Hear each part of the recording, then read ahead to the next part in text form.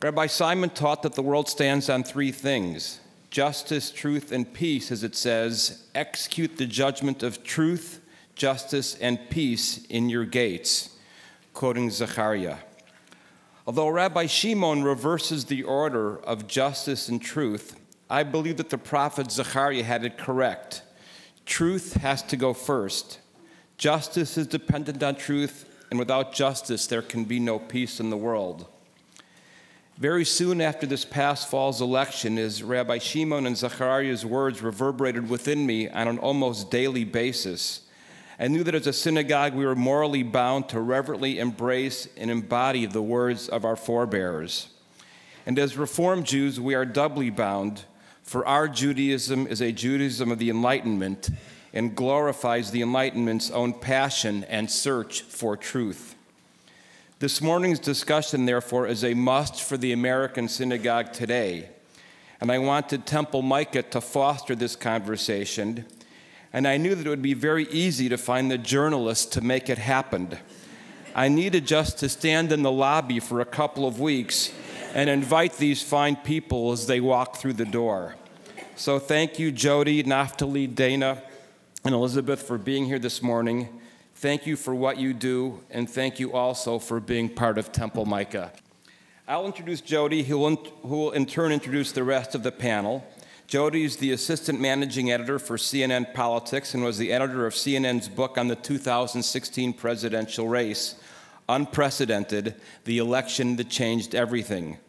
Although we know Jodi is past president of the congregation and is a dear friend, Outside of these walls, Jodi is a nationally known award winning journalist specializing in politics and policy who has covered the White House, Congress, and presidential campaigns. She's former president of Journalism and Women's Symposium and a graduate of the University of Illinois and a Washington Nationals fan. Finally, I would like to note that this morning's event marks the very first project that is being funded by our Temple Micah Innovation Fund. Thank you, Rabbi Zemel. First, uh, on the far end, we have Dana Milbank. Dana is a nationally syndicated op ed columnist with the Washington Post. I'm sure most of you have read and uh, chuckled along or been horrified by his columns. His column generally appears four times a week in the Post and in 275 other newspapers. Dana provides political commentary on TV and radio outlets, and he's the author of three books on politics.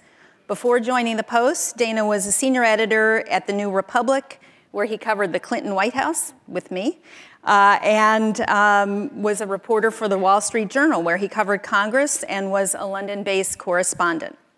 And he's about to get married. Elisabeth Bumiller is the Washington bureau chief of the New York Times.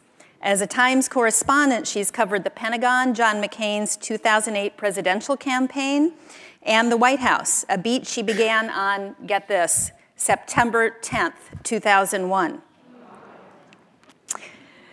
During her five years covering the Bush administration, Elisabeth also wrote a weekly column called White House Letter about people and behind the scenes events of the presidency. Earlier in her career, Elisabeth worked for the Washington Post in Washington, New Delhi, Tokyo, and New York, and she also is the author of three books. And then next to me is Naftali Bendavid. He's an editor in the Wall Street Journal's Washington Bureau and formerly spent many years at the Chicago Tribune. He also has covered the White House, Congress, and the courts, and did a stint in Brussels covering the European Union. Naftali was a longtime regular guest on the Diane Rehm Show and now appears regularly on 1A with Joshua Johnson. So, welcome to all of you, and thank you so much for being here.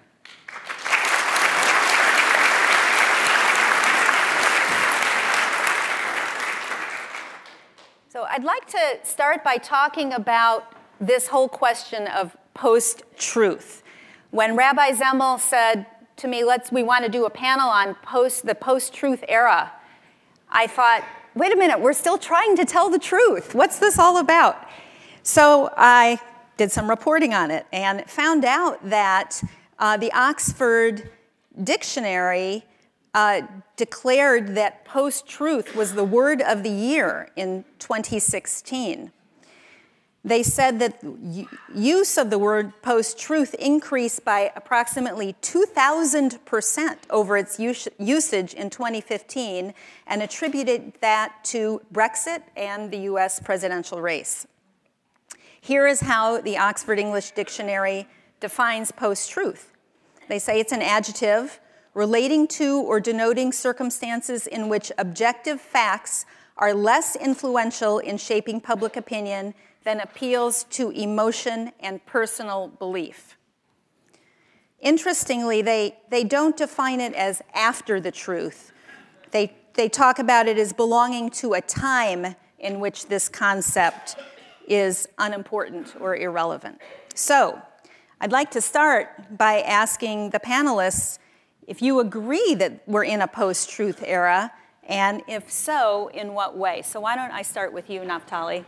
I mean, to me, that would be a little bit too sweeping to talk about this being a post truth era. One thing that occurs to me is, if I'm not mistaken, I think the circulation of all of our publications jumped right after Donald Trump was elected. And to me, that says that there's still a great number of people, I would, without proof, uh, think it's a majority of the people who are still very interested in verifiable, confirmed facts and the kind of work we do where nothing we report hasn't been carefully ascertained and vetted and, and edited and, and, and scrutinized. Um, so to me, that sounds too sort of grand to talk about this being a post-truth era. I mean, that said, I do find it a little bit disturbing or disconcerting that there does seem to be a certain segment of the population and a certain number of the leaders of uh, various factions uh, that are, I think, all too willing to discount facts that either come from sources that they don't like or that make them uncomfortable and don't fit into their worldview and the way they like to see things.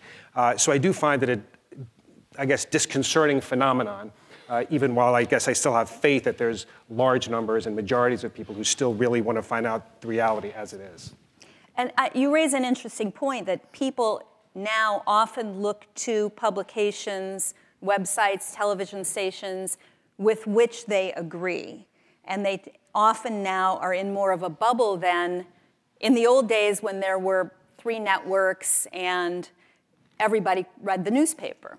So, Elisabeth, do you find that that changes the way we in the main, what we call the mainstream media, do our jobs, and does it, does it do damage to what we're trying to do? Sure. I mean, I, first of all, I'd like to say that I think any political campaign uh, is part of the part of a post-truth era because a lot of most political campaigns appeal to emotions and and passions. So we saw it on steroids in this last election, obviously, but certainly it's changed the way we do things at the New York Times. We have just employed a full-time fact-check writer. I mean, you've had one for a long time, but we have a we have a stable now. But we have per, a person in the Washington bureau. She came from PolitiFact and she writes three, four times a week. I mean, just, and we're trying to now actually, because we focus so much on Donald Trump and the Republicans, we're trying to try and focus a little bit on the Democrats, but the Republicans are, are keeping us very busy. So we've changed the way we do things. Um, we have also changed, um, I just briefly, uh, we have done twice now in headlines and in, in, lead stories in the Times written that the president lied, which is a new, uh, new road for us. In the past, if we would say the president uh, uh, you know, uh, uttered a falsehood or it was inaccurate, but it was a decision made by the executive editor, Dean Baquet in New York, that there were two, two cases. The first was when the president continued to say that Obama was born, was not born in the United States. And so the decision was made that this was so, um, he had done it so often, uh, it was so sustained over such a long period of time, and it was uh, against all evidence that it was time to call it a lie. The same, we did the same thing more recently when the president said that 3 million people had voted illegally in 2016 in the election. And again, that was a decision made in New York. It was a sustained uh, assertion over a long period of time, and we just called it like that. So that's very different. So, so tell us a little bit about how you deal with um, what a, lo- a, lot of us can only sometimes call a lie. Um, we, we've used all kinds of euphemisms, falsehoods, evidence free, uh, baseless, and these kinds of descriptions. But you, you, you cut right to the chase How has your life changed? Well, I'm here because they needed somebody on this panel to defend Donald Trump. so, and that's what I'm going to do and say I disagree with the New York Times decision to say he's lying. I don't think he is. Um, and let me explain why. Um, I, did a, I did a piece on this uh, um, very early in the administration. Uh, I think it was that Saturday or Sunday after the inauguration. He was talking to the uh, CIA, and he said, you know, he's given this inaugural speech, and there were some drops of rain. He's like, oh no, this is going to be bad. And he said, and then the rain stopped, and there was bright sunshine. So I was there, like 20 feet from him, and it was raining on me. so um, so I, I got in touch with the, the Capitol Weather Gang at the Washington Post for some satellite imagery um, and the, the, you know, the rain maps and the weather maps to see that, no, there was un, unbroken cloud cover you know, from here to West Virginia during, during that, that period of time. Um, and then there was also a, uh, you know, 360 degree camera so you could actually look at the sky through the entire speech, which I did also. Um, uh, but I think what this shows is that it's not to lie, it means, first of all, it has to be untrue, and second of all, uh, you have to know it's untrue. And I'm concerned that uh, the president doesn't think he's lying because he believes what he's saying when he's saying it. Uh, and his biographer, who did the, uh, or the, the guy who did the art of the deal with him, said that, you know, more than any human being he's ever met, Donald Trump has the ability to believe that whatever the last thing to come out of his mouth is true, or at least ought to be true.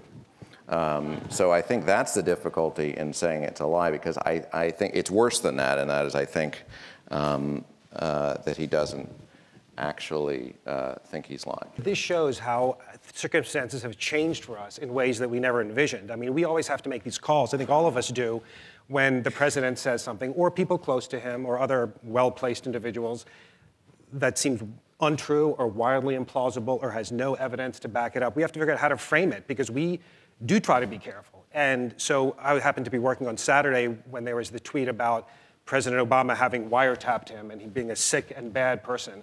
And it seemed wildly implausible. It didn't seem like it could be true. The president can't individually order wiretaps of people. So it had to have been some kind of incredible conspiracy for this to be correct.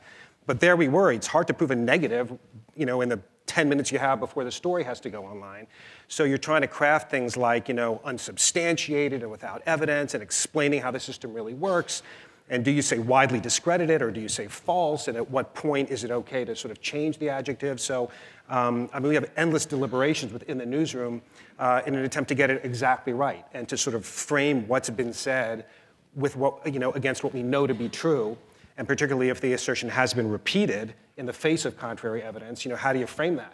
And it's just not something we've ever really had to deal with in journalism before. And you at the Journal also have a standard having to do with intent, do you not? Well, th- so this is the lie thing has come up, and I, I don't, I, in a way, I don't, like, I don't think we should put too much emphasis on this debate about whether or not you use lie or you don't. We're all trying to make the best calls we can. I think, you know, um, our editor sort of felt like that was a level of intentionality that we didn't want to get into. That if we say that something is false and it's been repeated, you know, in the face of contrary evidence, our readers can figure out whether they're smart enough to figure out whether they think, you know, it was a lie or it wasn't a lie. But, but I think the broader point is just that we're all trying to wrestle with how to frame, uh, you know, you know these, the situation where people in the White House in senior positions are saying things that just seem to be contrary to the evidence. And, but you know, if we're talking about a post-truth era, you know, it isn't just the White House. I mean, there's this whole conspiracy group out there that thinks that Sandy Hook, this massacre of these children in elementary school, was a hoax.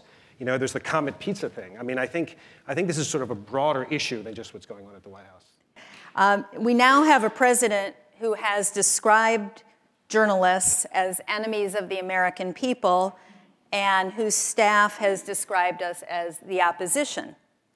So, my question to you is how do reporters deal with that kind of um, diatribe, and how does that affect coverage?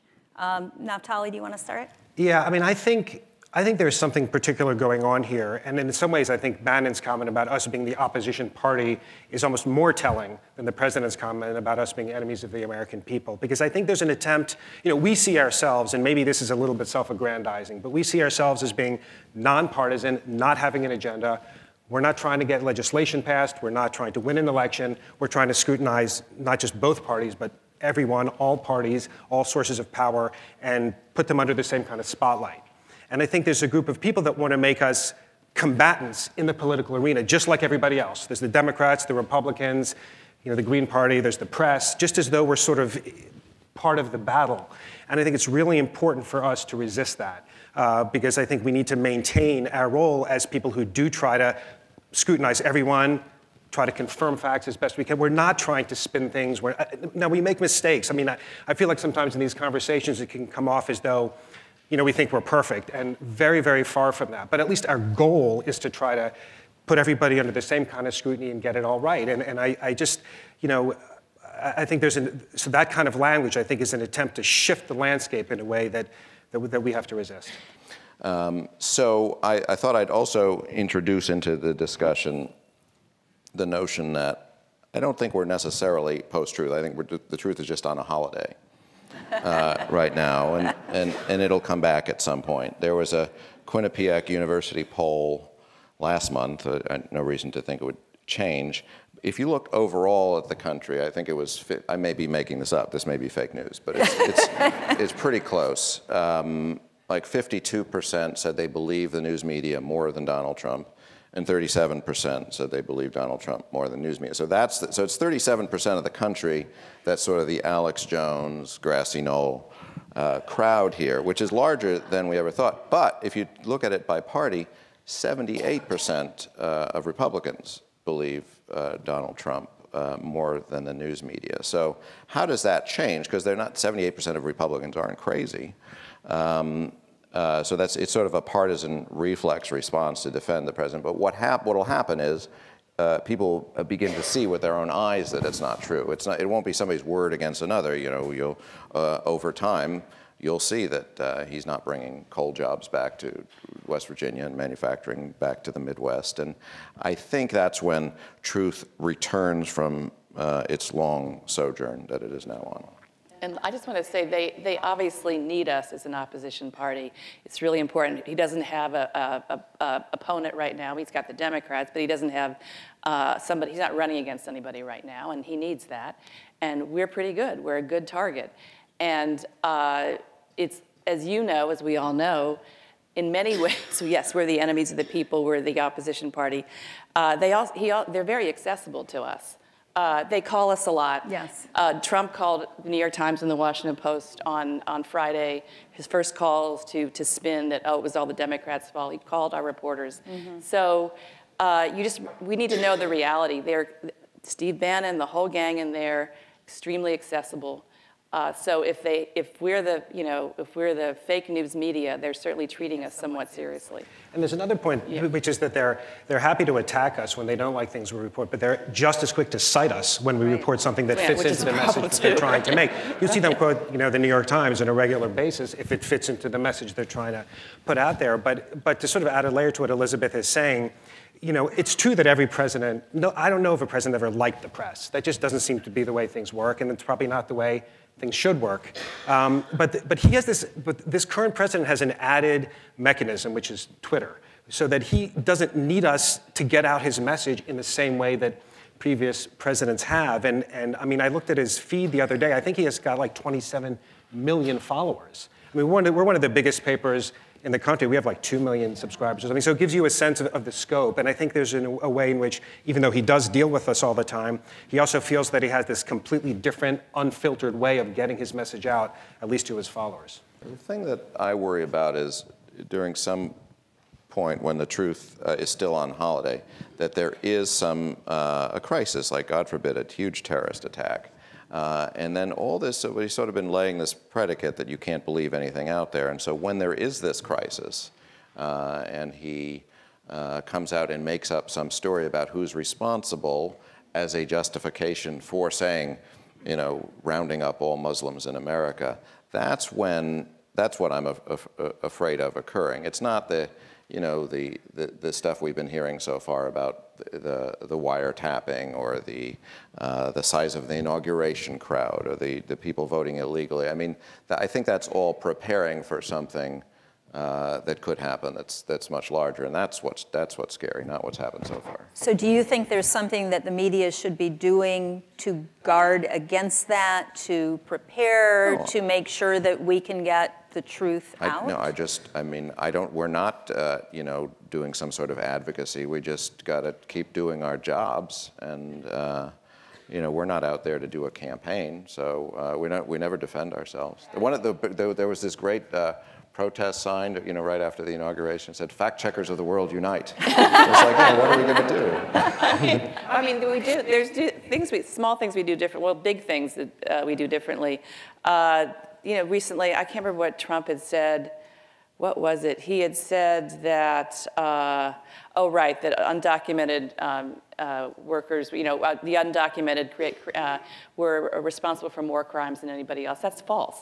And so I, I held up the story until we had, we, we had our, you know, called on our fact just to insert a line in the story saying, actually, studies show that native-born Americans, c- you know, uh, commit more crimes.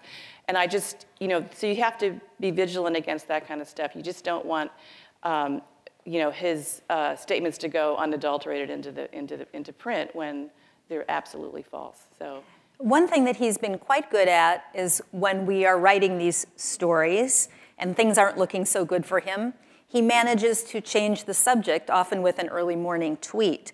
Elisabeth, you mentioned that the, um, the White House still does talk to the New York Times and all of the publications here, um, that the president did call you on Friday. His staff also talks to everybody. It's, every president rails about leaks, and every White House leaks. This one seems to leak an awful lot. um, even as the president talks about these anonymous sources who don't actually exist, we know they do exist. Yeah, they're down the hall from him, right? Right. So, but some people in the White House, in addition to the president, have talked in, in falsehoods. Right. Um, so, how do you deal with those people? Do you continue to talk to those people? Do you treat them any differently? Well, we, we're, we're much, we're really careful. It's really hard. You get, uh, you know, you can ask the same question of two very senior staff members. This happens with our White House correspondents, and you get completely opposite answers. And who is lying? You know, who's got a knife out for who? It's very hard to, to discern. Uh, uh, it's, it's much harder to report. There's a lot of factions inside the White House right now, more than we're used to. There's, um, it's much more, there's much more warfare between the staff.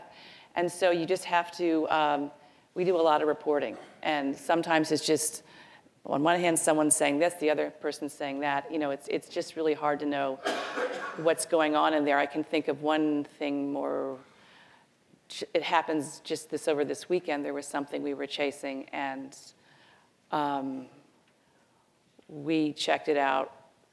I can't get into it, but it, let me tell you something. It was you, you check it. You check it with the FBI. You check it around with other parts of the administration. You to, have to be super careful. I'd like to talk for a minute about Trump supporters. The media were roundly criticized and criticized themselves after the election for failing to capture the mood of the country, failing to understand why people were supporting Donald Trump. And um, a lot of those people continue to support Donald Trump. And I'm wondering, um, we all work for organizations that often are called the elite media. Um, how you try to change that, how you try to make sure you're adequately and accurately reflecting what's really going on in the country. Well, we now we now I you know the um, we now go out more much more often to parts of the country where there's a lot of Trump supporters and talk to them. Those stories tend to have until recently they've tended to have the same the same story over and over again that no matter what he does we love him you know there's a certain one note aspect to these stories um, and i think more recently we're seeing that people are saying well you know, I really like my health care. Let me see what he really does. Or, you know, I don't know. You know, so you're getting a little bit of that. So we are just paying more attention. But, um, uh, you know, the, I don't know that the answer is going out to Louisiana every every two weeks and talking to people who love Donald Trump and aren't following the news that much. I mean, also, I mean, there's always a danger in these situations that you sound defensive, but I mean, we all sent people out to Trump country constantly during the campaign. And we, there were all, I mean, in fact, the stories were even parodied at some point because yeah. you'd go to some little town know, where Main Street was boarded up and the factory had closed, and you'd quote some person about how angry they were and how they were going to vote for Trump. And, um, you know, clumsy as it may have been, there were, I think, plenty of attempts we all made. Now, we got the election wrong, and I certainly wouldn't want to sugarcoat that, and uh, so did everybody else. I mean, I would argue that the Trump campaign didn't think they were going to win, um, and that is something that really requires well, some. Actually, can I just interject? We, the, the, the, polls were right. Right. Hillary Clinton won by two percentage points with the popular vote. Do you think we missed another story, or perhaps underplayed another story, which had to do with Russia? During the campaign, I mean, the, the, the Clinton the Clinton campaign um, did try to get all of us to spend more time focusing on the role of Russia and hacking John Podesta's emails and the DNC's emails. It, it was written about, but it was never really elevated uh, to a particularly high level. Um, what, what, do you all think, Elisabeth? What do you think? think? well, we that? were we were um, involved in both stories. Um, the Russia story uh, became clear much later in the campaign. That's the that's the that's the truth. In September, uh, there was this, we've written about it so I can talk about it, there was, there was the FBI was alarmed over this back channel between, supposed back channel between the Alfa Bank in Moscow and the Trump organization in New York. Uh, we spent weeks on that, weeks and weeks and weeks, and looking at it. Um, and the FBI cooled to it after a while, and ultimately if you don't know what it is, which we didn't, and now they, they, now we're not sure what it was, and it doesn't seem to be what we thought it was, or the FBI thought. So yeah, we we um, and the, I know the Democrats are going to be furious about this forever, but um, we just didn't have the facts to go with the big story on that at the time, and um, and again. The, the Clinton email investigation began much the summer before 2015. Uh, it was a criminal investigation, um, and uh, it played out over a much longer period of time. And the Russia investigation got going much later, and we were, didn't know about it until much later. So yes, I can see the, um, the anger among the Democrats, um, but we were not, um, we, uh, I, I, can assure you that we focused on it in, in Washington and wrote the, as much as we could, and we're still continuing obviously to write about it now. In addition to attacking news outlets, a lot of news outlets, um, the president, um, and, and, as, particularly as a candidate, sometimes singled out individual reporters. Um, and there's been a lot of, there have been a lot of very nasty tweets, uh, racial, anti Semitic, not by him, but by um, readers, viewers, uh, attacking these reporters. It seemed to have created this um, echo chamber of hatred. And I'm wondering if um, any of you are concerned either for your own safety or for those of other of your reporters, and have you had to take steps to protect them? Uh, uh, not so far. There have been a few things, but not so far, and it's it's stopped since the campaign. Largely, we had a um, an incident. There's been a couple with some of the um, uh, Jewish reporters in the bureau. And but um, you know, it goes. It starts on Twitter. It gets very, very ugly. Mm-hmm. It gets really scary. But but then it abates. So right now we've we know we uh, we keep an eye on it. But the sad truth is, is this, this is not a Trump phenomenon in the sense that there's been this concern about safety of the press for some time now, and we all were very aware of the Charlie Hebdo uh, incident in Paris, and we've certainly beefed up security over the years. I don't think we beefed it up particularly because of what's happened in the last few months, but over time, it's something we've had to think about. Please characterize the sources who are providing quote unquote truths to the press from inside the Trump administration and the Republican Congress. Well, they're, they're very senior aides to the president and uh, uh, senior aides to people on the Hill. Sources aren't doing it out of the goodness of their hearts. They have agendas. They have a storyline they want to drive. What's going to happen with the Russia story? Does anyone want to take a stab at at that? Look, uh, nobody knows. Nobody knows what what the, the facts are, where or where it ends. What we did learn in the last week is that um, clearly Devin Nunes and the House Intelligence Committee aren't terribly interested in finding out about it. So, and, and probably uh, not much better in the Senate. So the real question is, you know, it's all on the FBI, which uh, uh, is led by a man who none of us can necessarily predict. Um, uh, I can't imagine there's going to be a special prosecutor. So uh, it's a, you know it's, it's, a real question of what comes out in, in the long run. Uh, we've got a big, we've got an investigative team in the bureau now looking. We've been looking into this for a long time. Uh, I don't know where it's going to go. It could, it could possibly take years because it's a counterintelligence investigation. It's not, and sometimes we, you never know what happens in those. Um, so I can't predict. Um, there is a lot there for reporters to look at, though. I can say that. So, so how do we get back to the pre post truth era? How do we get back to making sure that people know we are about the truth and getting a greater credibility back? Um, can we get can we get out of this post-truth uh, moniker? I mean, it's a hard thing to do. These, there's some pretty big social forces at work here that I think asking us how we can change, you know, it's, it's a tall order. I mean, beyond just trying to do the best we can, I, I have noticed this thing that where I think all of our organizations are trying to explain a little more what we do and how we do it. Yeah. Th- thank you all so much, and I just want to repeat what Dana just said. Um, keep doing your jobs, and thank you from all of us for doing what you do.